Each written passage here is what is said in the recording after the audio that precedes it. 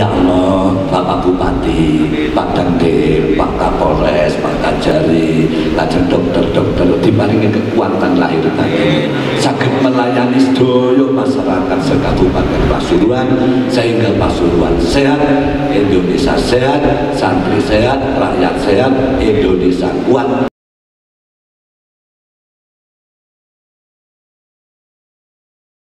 melaksanakan kegiatan vaksinasi di Pondok Pesantren Allah.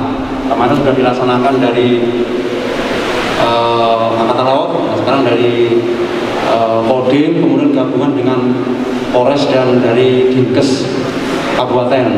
Nah, untuk vaksinasi ini kita berjalan hari ini dan sampai seterusnya. Ya, kita sasaran kita, kita akan clearkan untuk para santri dan para pengasuh yang ada di Pondok Pesantren Ngalah ini semuanya semuanya sudah vaksin.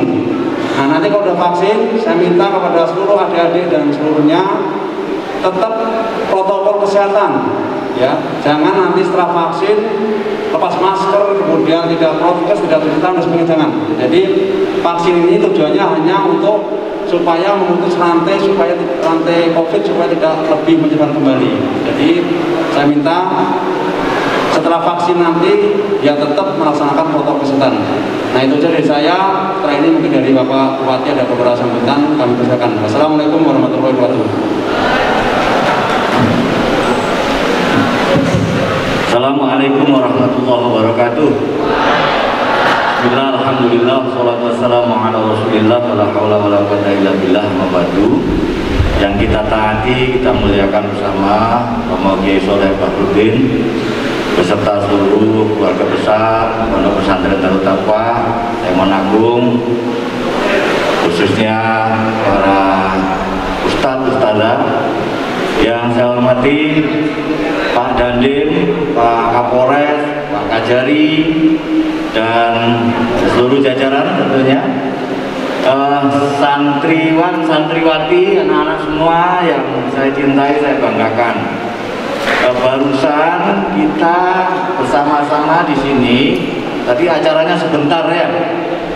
Tadi itu Pak Panglima TNI sama Pak Kapolri melakukan kunjungan kebetulan di Pondok Pesantren Tebuireng Jombang kemudian ngecek Pondok pesantren se-Jawa Timur ini menjadi perhatian dari pemerintah, perhatian dari Panglima TNI dan Kapolri untuk didahulukan vaksinasinya. Alhamdulillah.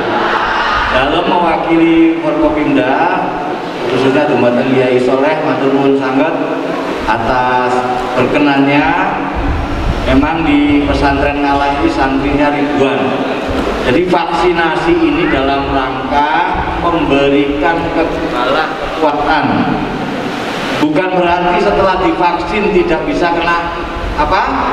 Kok corona. Ya.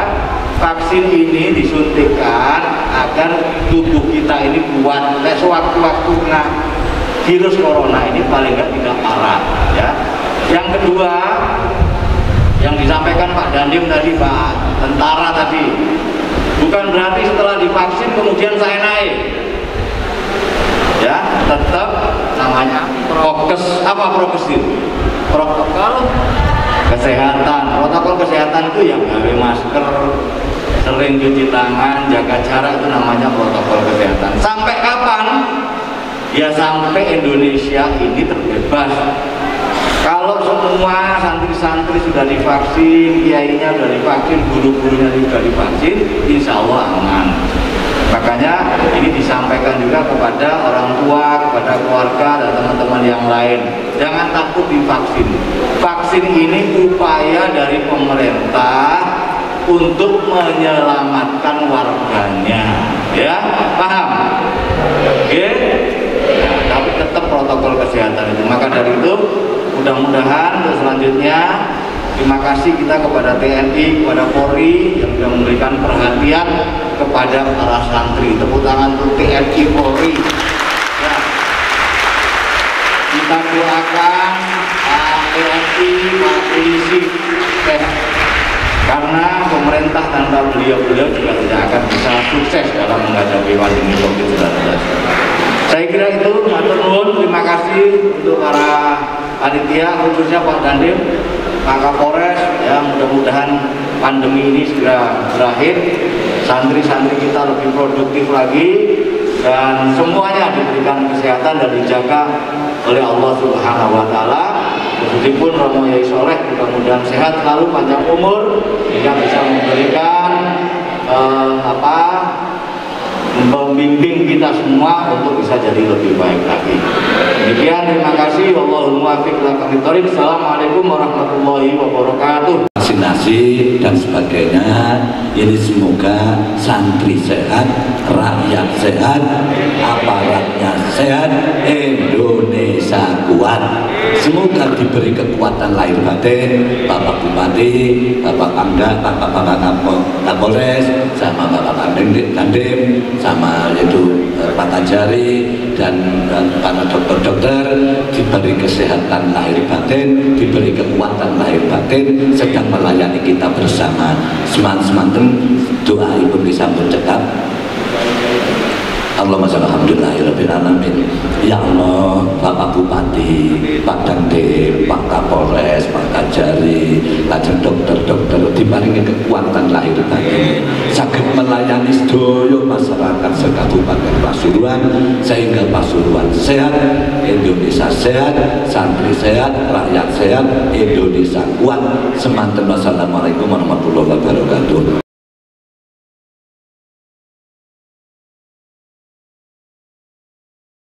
menginisiasi eh, vaksinasi di pesantren yang diarahkan untuk para santri-santri di Kabupaten Pasuruan. Maka dari itu atas nama pemerintah dan masyarakat kami mengucapkan ucapan terima kasih kepada TNI Polri dan khususnya kepada Romo Kiai Soleh Bahudin sebagai pengasuh Pondok Pesantren Ngalah eh, Pasuruan yang telah berkenan dan ikhlas sehingga kita bisa melakukan upaya percepatan vaksinasi di wilayah Kabupaten Pasuruan. Terima kasih. Assalamualaikum warahmatullahi wabarakatuh. Selamat dan sukses. Ayo kuliah di Universitas Yudarta. Kuliah di Yudarta Multikultural University.